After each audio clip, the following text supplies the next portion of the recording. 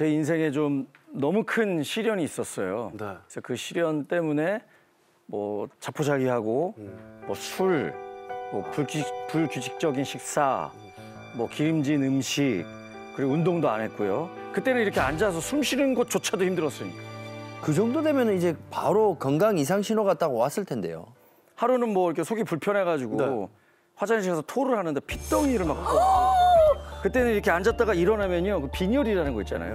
근데 이게 빈혈이 보통 일반 빈혈은 그냥 일어나면 이렇게 약간 빈혈이 생기잖아요. 예. 몸에 경련이 일어요. 이렇게 이렇게 이렇게 이렇게 이렇게 이- 이거 컨트롤이 안 돼요.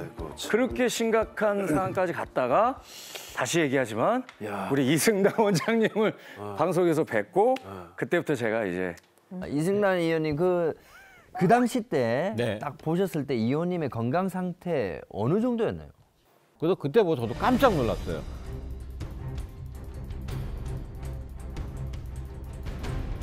혈관에 껴 있는 거 네. 이게 만약 그대로 방치했으면 제가 보니까 한 5년?